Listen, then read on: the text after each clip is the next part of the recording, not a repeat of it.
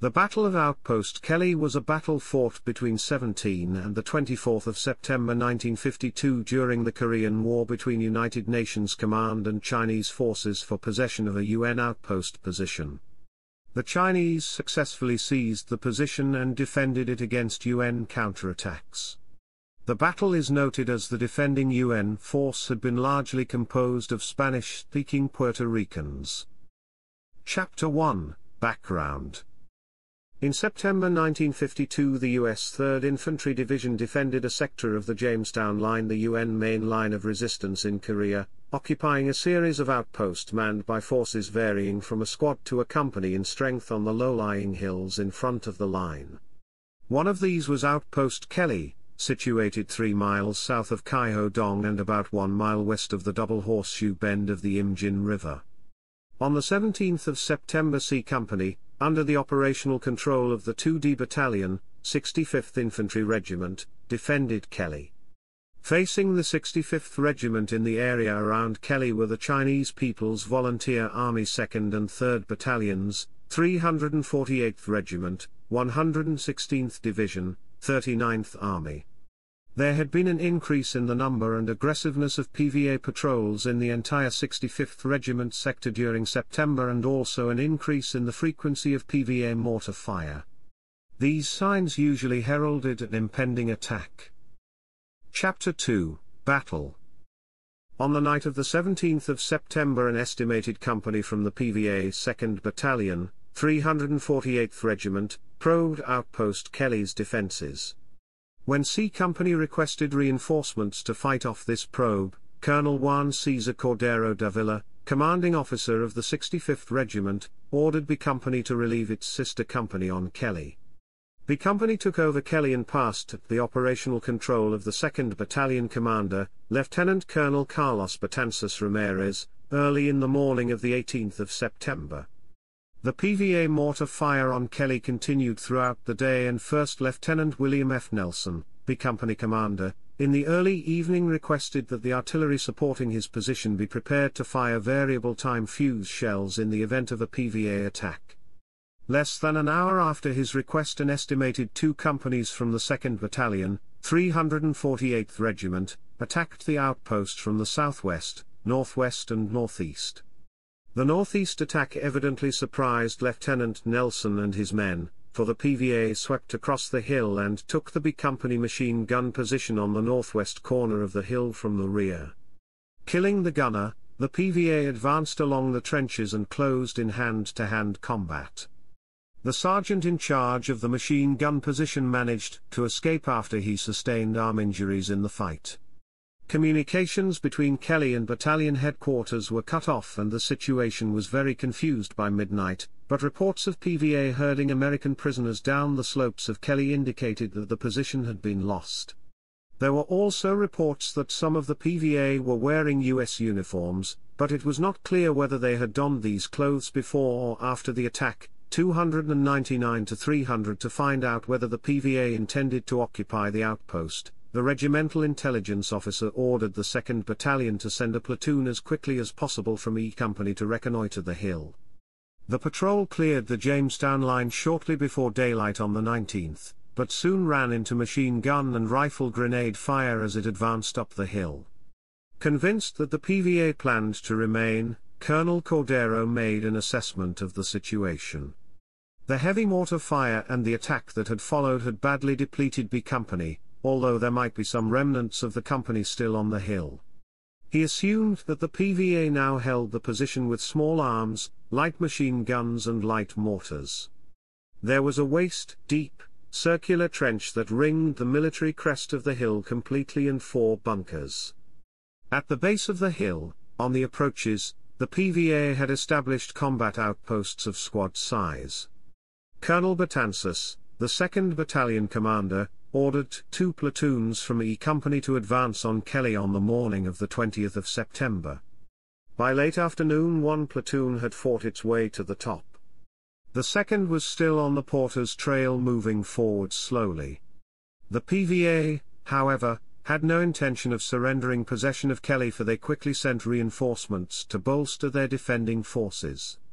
The platoon on the hill began to take casualties from the small arms, machine gun and mortar fire, and the second platoon was forced to fall back as it encountered similar PVA opposition on its way to the crest. Faced with the PVA determination to hang on to the outpost and the mounting casualty list, the two platoons withdrew to the Jamestown line. In the meantime, the 1st Battalion prepared to counterattack through the 2nd Battalion's positions. During the evening of the 20th of September, a company, under 1st Lieutenant St. Clair Street Jr., moved forward to take up the attack from the south and C Company advanced to the base of the hill on which Kelly was located. The PVA mortar and artillery became very heavy as the men crossed the valley floor en route to the hill approaches. As the two companies began their ascent, B Company moved forward toward the outpost line to support the attack. Mortar fire came in swiftly and with deadly effect as casualties cut the strength of B Company to 26 men and forced the cancellation of the company mission. The PVA fire was also taking its toll of A and C companies. In addition, the PVA used time-fused artillery fire as the 1st Battalion troops edged their way to the top. The airbursts over the heads of A and C Company were demoralizing and caused panic. Lieutenant Street had to fall back and reorganize A Company, while C Company clung to a finger of the hill with two platoons. A and C companies totaled about 60 men each at this juncture, while the PVA had an estimated 100 men on the hill and was reinforcing freely. A UN artillery barrage pounded the PVA positions on Kelly early in the morning of the 21st of September.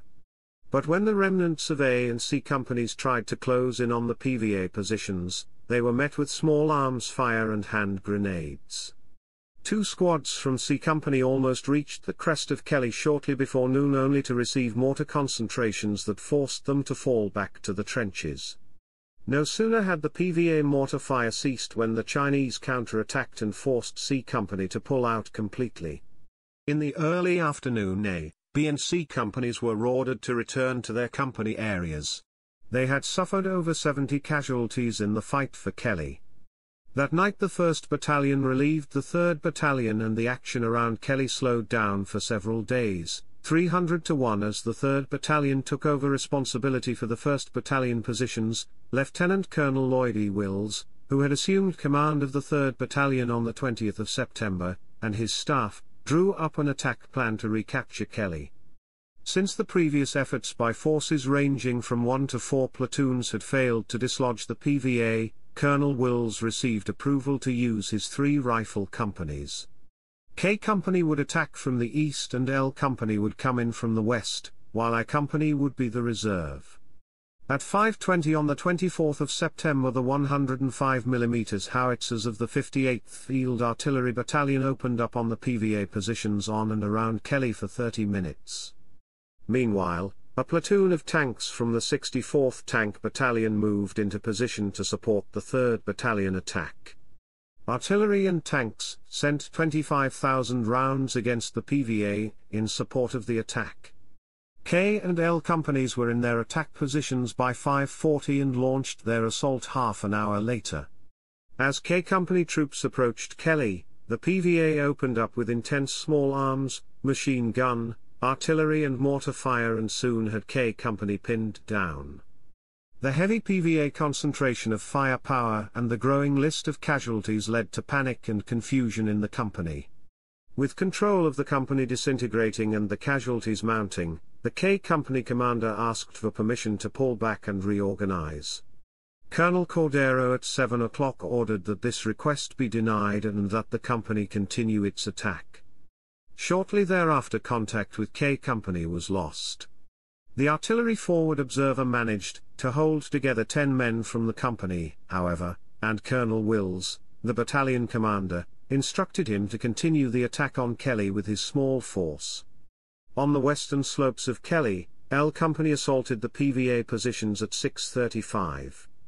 Despite heavy mortar fire, one squad reached the top at 7.20 and quickly asked for tank fire. Clinging to the trenches on the south slope of Kelly, the L Company squad was unable to move forward against stubborn PVA resistance.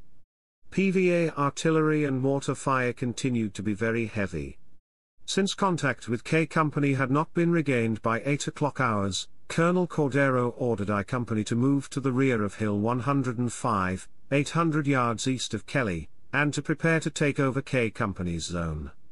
I Company moved toward Hill 105, but the PVA artillery zeroed in on the company and scored several direct hits. The men began to scatter and drift back to the Jamestown line. Colonel Wills sent his S3 to help reorganize the company, since contact with I Company's commander had been lost after the PVA artillery concentrations had begun. Colonel Wills left at 9 o'clock to take over the reorganization of both I and K Company stragglers as they returned to the Jamestown line without weapons or equipment. With only the remnants of L Company still on Kelly, and the other two companies depleted and demoralized, the situation appeared grim.